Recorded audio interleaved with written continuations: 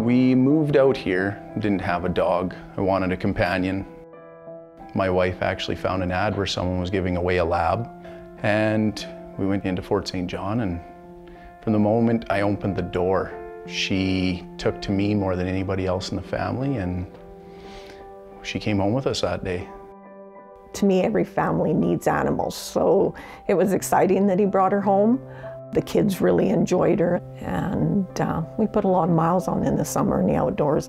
Brent and I have spent a lot of time in the hills um, on the way out here hiking with Raya.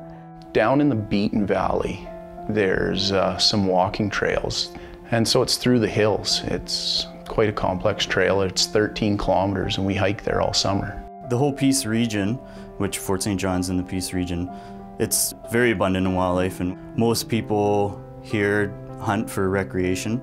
I'd called my mom to see if she wanted to go hunting because she loves the outdoors. So I met her at her house and we left from there and we hiked for a few hours. So coming back, it was getting dark. You could see to walk, but you had to get a flashlight to make out tracks. We had heard elk, caught a glimpse of elk, so Brent said, Mom, you and Raya stay here and I'm gonna go check to see where the elk went to. Raya, whenever we're out hiking, hunting, I've trained her to follow me. She's not allowed to pass. That's just her spot is behind me and to follow. And the whole time that Brent is walking away, Raya is just whining because he had got out of her sight. About 20 feet in front of us, the bush just exploded. I can remember Brent saying, we're being charged by a bear. Could hear the snapping of the jaws and the growling, and I could see with my headlamp that I could see the bear's eyes glowing in the headlamp, and it had a cub with it. You could see the smaller bear beside it. You could see the reflection of its eyes. Surprising a sow with cubs is probably one of the most dangerous situations you can be in. They are probably the most powerful predators in North America. I have never, ever had a bear charge before. I have never heard the noises before that that bear made that night. You could hear it physically coming at us because of the dry trees and grass and stuff.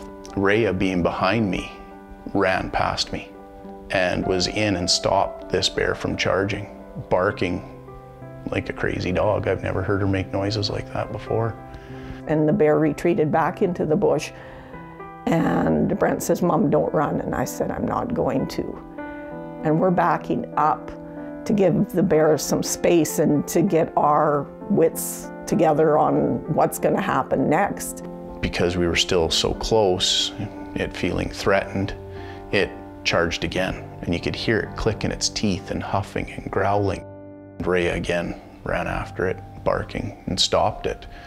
After the third time, we weren't sure that it was just going to end.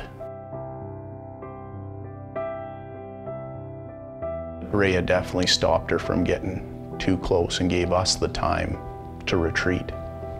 With her quick reaction and running past me, just that instinct to protect us, I guess, we made it back to the truck without any further incidents.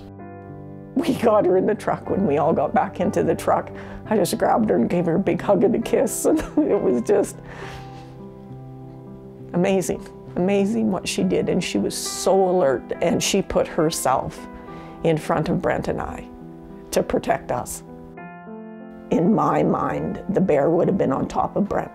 I would have tried to get in to help, but I feel Raya risked her life to save us. We owe her our lives. She was amazing that day because I, I truly believe in my heart if she wouldn't have been there, we would have been hurt severely or not here to tell the story. Love her lots. Her being inducted into the Purina Animal Hall of Fame is amazing. To me, she deserves it. Definitely that day she protected us. I'm so grateful she was there and reacted the way she did. I know every dog I have from now on will be compared to her.